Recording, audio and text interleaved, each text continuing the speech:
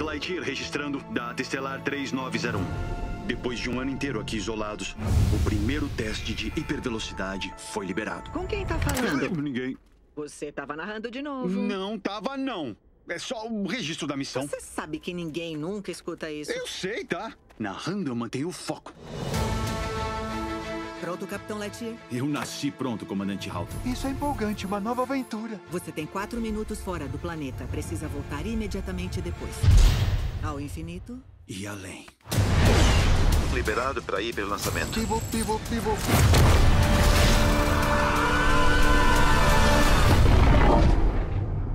Buzz, isso foi desesperador. Eu me arrependo de ter vindo. Da Disney e Pixar. Buzz Lightyear para Comando Estelar. Responda, Comando Estelar. Por que ninguém tá respondendo? Não! Ei! Os robôs! O quê? O que está acontecendo? Alicia? Não, essa é minha avó. Mas, Sox, quanto tempo ficamos fora? Miau, miau, miau, miau, miau. 22 anos, 19 semanas e 4 dias. Oi? Em junho, Espero que esteja pronto pra agir, porque a gente só precisava de um piloto. Pra quê? Destruir uma nave alienígena. Eu tenho um plano e tenho uma equipe. A Darby pega três coisas aleatórias e faz explodir.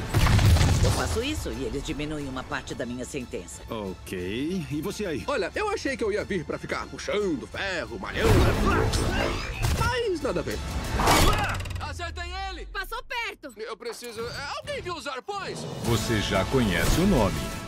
Buzz, Agora vai conhecer a história. a probabilidade de sobreviver num ataque direto é de 38,2%. Ah, número meio baixo. Fracasso de missão iminente.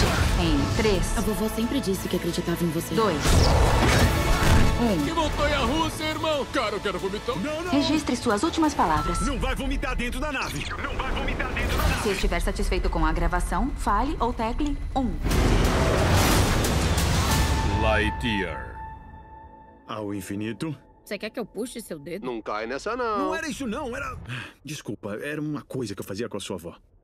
16 de junho, exclusivo nos cinemas.